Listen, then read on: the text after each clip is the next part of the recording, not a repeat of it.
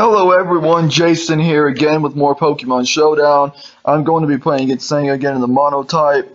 Going to use this Ice team again, and we are going against Water, it looks like. Uh, so let's go ahead and throw out, um, what do we, what do we want to start with? This guy? Yeah, Abomasnow. Let's go for that wood hammer. And it almost KOs the Blastoise. Damn, oh, but the Aura Sphere hits the Abomasnow. Well, let's see. Let's go with Articuno.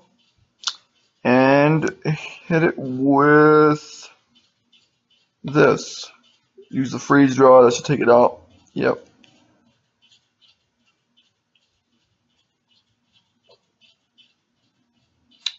And uh, who's he to go out with next?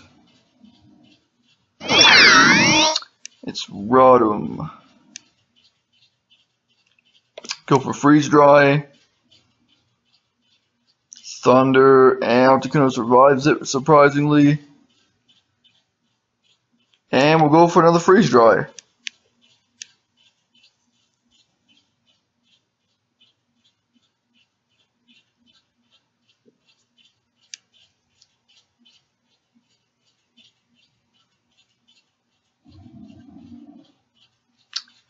He's uh, stalling. Okay, Freeze Dry takes out the Rotom.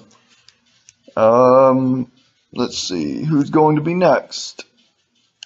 I'm guessing Manaphy. Let's try Freeze Dry. It's probably faster. Yep, it is faster.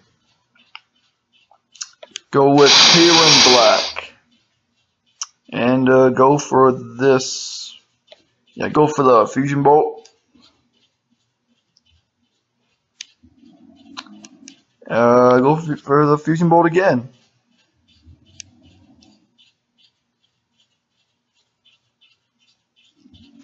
And uh, takes out the Manaphy.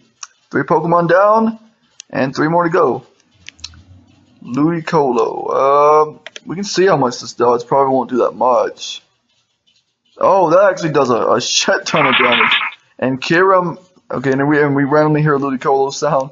And Kyurem Black uh, barely survives the Focus Blast to take out the Ludicolo with Fusion Bolt. He has two more Pokemon. That's four down. Azumarill, um, go for Fusion Bolt.